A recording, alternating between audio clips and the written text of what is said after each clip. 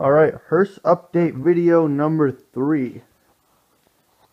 I piled, I have the one by four stacked right there. And I'm going to start framing the walls. So I'm going to have some angles on the front and back walls. It's going to be a one foot angle. So it's kind of going to be curved. So the frame is going to be eight feet long. So I'm going to start cutting down some 1x4s and screwing everything together. Start making a few walls. Alright, I got one wall framed out. It's three and a half feet tall and six feet long. So, get a better idea of it.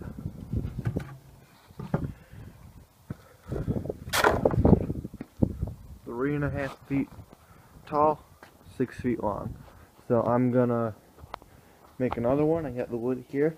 I have to make my marks on it, cut it, and how I'm holding it together is I was gonna use these forget what these are called, some kind of plates. Connect plates or something like that. But they were just bending. So I just took another one by four, I drilled two holes there to connect these. And just put a bunch of screws in the back.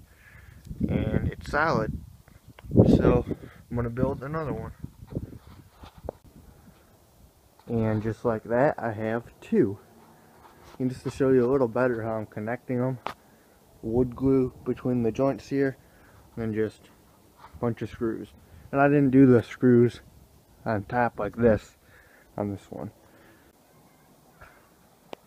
Alright, it's been a few days since I filmed anything. That's because I haven't really worked on it that much. So today I went and got my sidewalls made. They're 15 inches wide and I think 44 inches tall. So those are going to go on the front here and the back for my angles. So now I'm going to go to Home Depot and get a sheet of plywood so I can kind of start putting this thing together. Alright, it's been a few days since I filmed. I'm not really sure what I filmed last. But here are three of my four smaller panels. Here's one of my big ones. And here's what the hearse is starting to look like.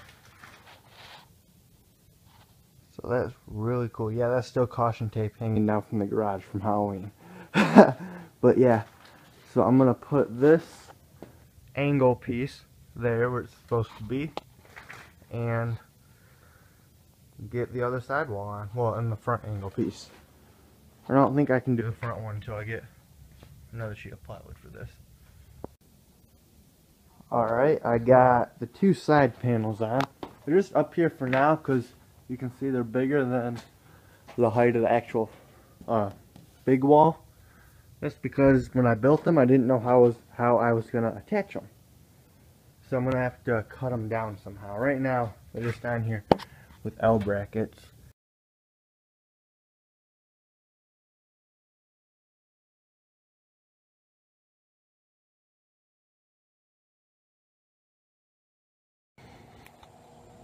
Alright, so here's what I did. I screwed the 4x4s into the frame. They're fairly sturdy. So I'm going to flip this thing over and see if it will hold weight. Hopefully it does. I put four screws in each 2x4 here going into the 4x4 and then two right here. And it's not moving. And I'm going to screw from the top too once I flip this thing back over. So I'm gonna try and flip it over. Alright, here's what the hearse is looking like. So this is where I'm gonna end the video. I got pretty much everything done which was on it before. The wheels are over here. So that's where I'm gonna end this video and then after I edit this and upload this in a little bit I'm going to go to Lowe's and get more 1x4s to do the front and back wall like this wall and then the wall back there. And then that one back there needs a door too. So I'm gonna have to figure out how to do that. But I'm gonna end the video here. So see you in the next hearse update.